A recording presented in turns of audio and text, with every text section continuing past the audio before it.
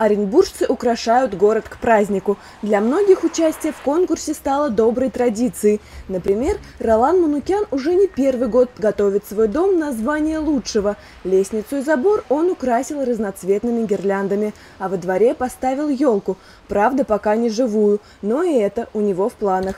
Я вообще люблю всегда, чтобы все красиво было. Новогодние праздники, охота встретить нормально, красиво. Чтобы людям было приятно и нам тоже.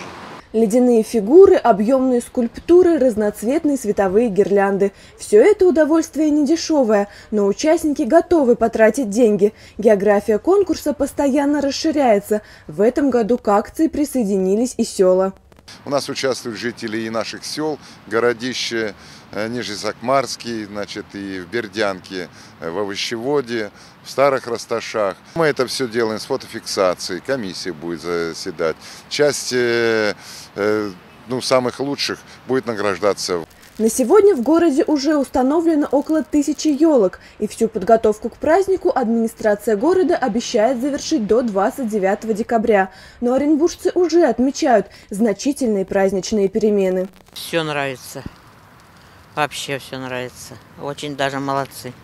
В городе елки поставили, скоро открытие начнутся, все. Ну а так еще ярче надо было украшения разных так вот.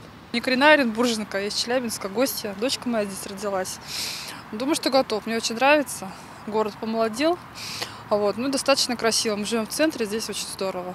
В новогодние праздники все светит особыми красками, а вечером, когда включается иллюминация, в новогоднее чудо начинают верить не только дети. Алина Ильбукаева, Семен Воробьев. Новости дня.